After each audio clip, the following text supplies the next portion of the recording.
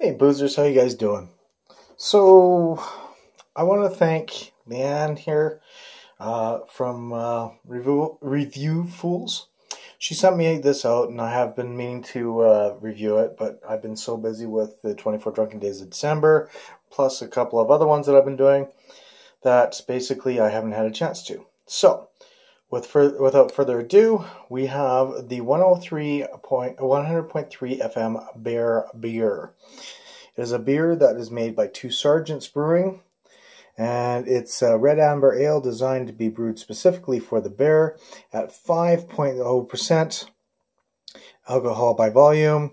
It is a lightly hopped, refreshing beer with a sweet malt character. This beer can be enjoyed by everyone, from the casual beer drinker to the hardcore craft beer geek. Well, I'm kind of in between. All right, I'm a craft beer geek. What can I say? And yeah, Two Sergeants is brewing it, and if I see a bear paw underneath the cap, I win a thousand dollars. And if I do that, it goes directly to Leanne because, well, she's the one that sent this out to me, and I did promise, and unfortunately, nothing. So, sorry, Leanne. Okay, I am trying to get some head off this one and like nothing. Seriously, nothing. Okay, a little bit of head. So the smell. Mm, Not bad. It's got a sweet smell to it. Nice malt, sort of sweet malt to it. Not bad. All right. Cheers.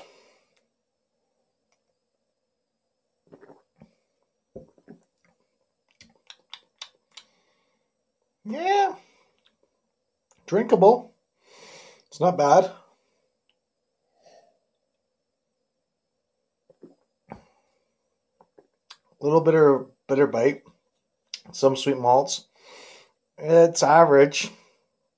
Um but it's nothing I'd write home to.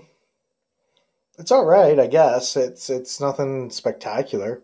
I think the most um, craft beerish thing about this is the labeling, and it's for them. It's kind of gimmicky, which is fine. So yeah, um,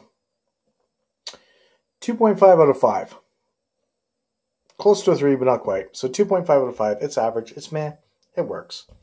So until next time, folks. I'm PK saying cheers. Stay frosty. We'll see you real soon.